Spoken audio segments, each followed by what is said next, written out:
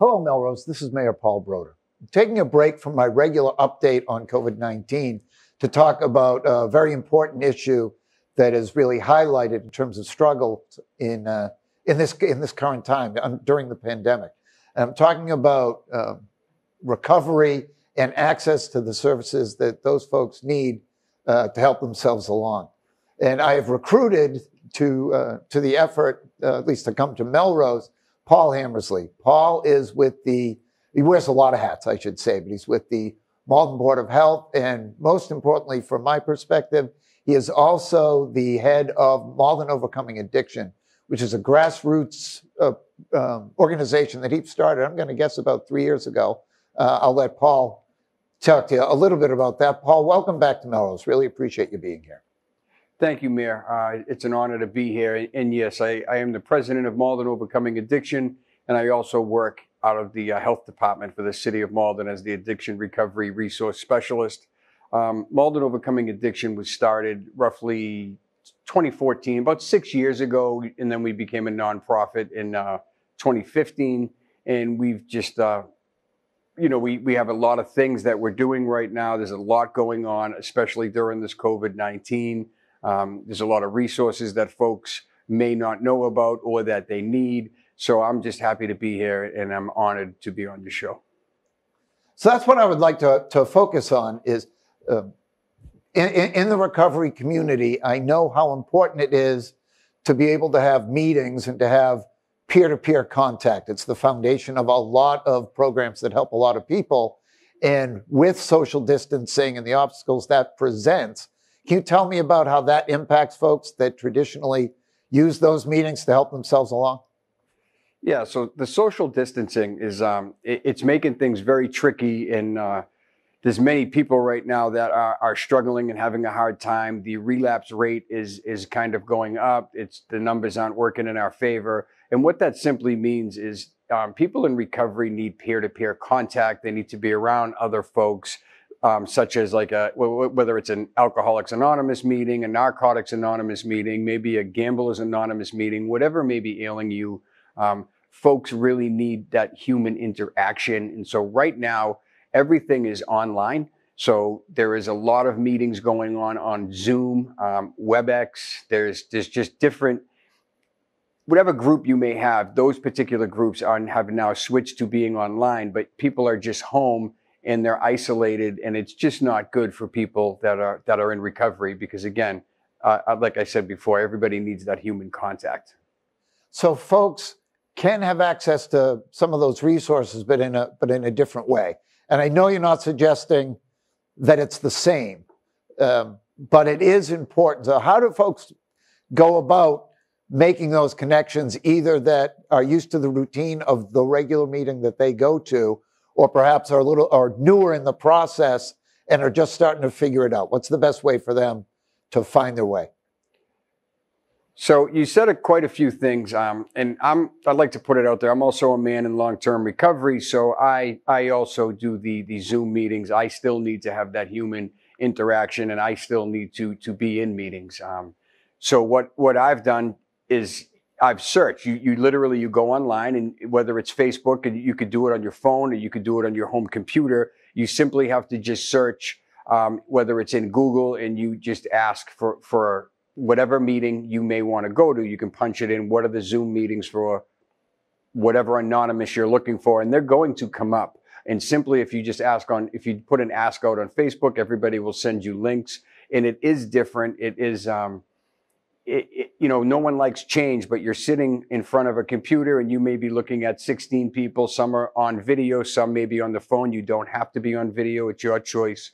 Um, but it's still a meeting. They still work and it's still very helpful. But for right now, we just have to continue helping each other. And I do suggest if you have people's phone numbers that you're contacting each other, you're staying in contact, you're still asking for help, you're doing what you have to do, you're getting enough sleep, you're eating properly, you're exercising. All of these things really make a difference in your own personal recovery.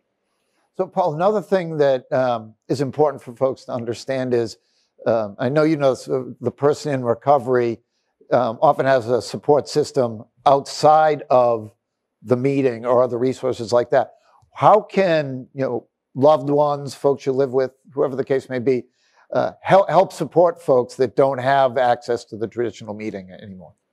And again, so if you know if if there may be a, a person in recovery in your home, you're not in recovery, but you may be living with someone in recovery. You, you, know, we we encourage people to give as much support as they can to that person. You know, maybe asking that person, "Have you went to an online meeting today?" Kind of just supporting that person right where they're at, making sure that person is eating right, making sure that person is getting enough sleep, and and really just trying to interact with with, with your loved one um, as much as you possibly can, and also watch for the signs. If the behavior is off, if somebody may not be eating, you can tell they're not sleeping, they're looking different. That's when you might want to, you know, maybe contact someone if you think that your the person in your life may be taking a turn for the worse. You might want to contact someone to just talk to the person in your home. Um, recovery coaching is still going on if you have a recovery coach or if you know of a recovery coach or if you don't, contact any facility that offers those services. All the facilities right now are still up and running by phone.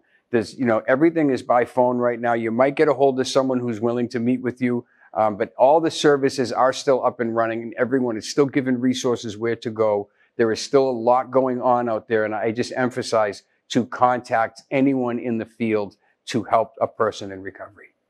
And Paul, you, you, said something that I think is, is important to stress is uh, we were talking really about a particularly uh, particular segment of the recovery journey. Um, but what about things like um, detox services, um, you know, beds, things that are a little bit more, you know, a little bit more serious intervention? Are those things still available to folks right now? Yes, detox services are still open right now. Um, that nothing is closed down for, for help um, such as a detox or a CSS or for the treatment to a TSS because those services fall under almost like a hospital setting because there are nurses and there are professionals on board who can take your temperature and, and, and test you for again whatever if, if you are sick someone can can um, come to your assistance. But again they are open. It is tougher to get a bed because right now a lot of folks are struggling and the beds are full but they are still open. We are still placing people, and the help is still out there. And yeah, we, we also touched upon the idea that that um, sometimes folks that are in recovery need a um, need need a basket of support sometimes in terms of um, food insecurity or other connections like that. How do folks connect in to those other services that are also really important to make sure you're you staying on the recovery path? And, and the food services are still open. I know that Bread of Life and I, I see a lot of other services still up and running, but where people are struggling, I, we talked about this earlier, and that's the homeless. The homeless, are, that population is still struggling. Um, you know, whether it was certain churches that might have been open, given a nightly meal, and that's where people were eating their nightly meals, and they might have been bringing food in, such as canned items that we don't even think about that need can openers, and certain things that the the um, the church might help them with. All those places are no longer open. So if you know someone that's homeless, please check on that person. Um, the, again, all the food services are there, but the homeless people are really struggling at this particular time with what's going on with COVID 19. So, one thing that I know Malden Overcoming Addiction does amazingly well is identify and make available resources. Uh, as we wrap up, can you talk about uh, what's on your website, how to access it. We'll make sure it's on the screen after. But if you can give folks an idea about how they can go about navigating this situation, that'd be a huge help to our, to our viewers. So if you want to, if you're looking for any resources, you can go to maldenovercomingaddiction.com or you can call 781-838-2203. Um, there's recovery coaches available. There are people to walk you through whatever may be ailing you to, to help you in, and to give you the resources you may need, whatever that looks like. But eh, we are here. Um, there's a scholarship program on the website to see if you fit that criteria. You can go on and click the link under resources. Um, we are available. All the resources are still here. We are not closed. Everything is open. Just check out MaldenOvercomingAddiction.com. You can go to our Facebook page to, to see what is the latest and greatest. We update it um, almost daily. Um, and again, we, we're open, we're here, and we're here to help anybody who may need us. Well, Paul, I want to thank you very much again for crossing the border, coming over to Melrose. Uh, your, your, commitment uh, and your passion around this is outstanding, and your, and your commitment, even even as the rules change along the way, you know, you're a tremendous resource not only in Malden but throughout the region. I appreciate you taking the time out of your busy day to come share some of this important information with the people of Melrose. Thank you.